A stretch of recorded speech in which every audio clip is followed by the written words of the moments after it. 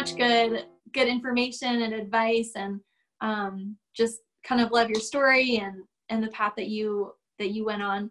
So just some closing words for all of you guys out there. Um, thank you so much for joining us on this episode of Talking Big Jobs with Dr. Helen Moore, the Director of Applied Mathematics at Applied Biomath. In the coming weeks, we'll be posting a recording of this episode, and you can stay tuned for the next episode. We'll be announcing that through SIAM and AMS channels soon. Um, this interview was produced by SIAM and AMS as part of the Tondeur Initiative. These career-focused uh, activities are part of a collaborative effort by the American Mathematical Society, the Society for Industrial and Applied Mathematics, and the Mathematical Association of America.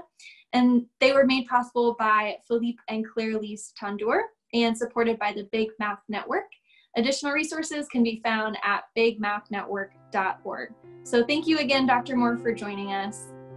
Thank you, Sarah. I really appreciated um, all the work you put into this and all the great questions from everybody. Thanks for listening. And yeah, thank you all for listening, and we'll see you next time. Bye-bye. Bye.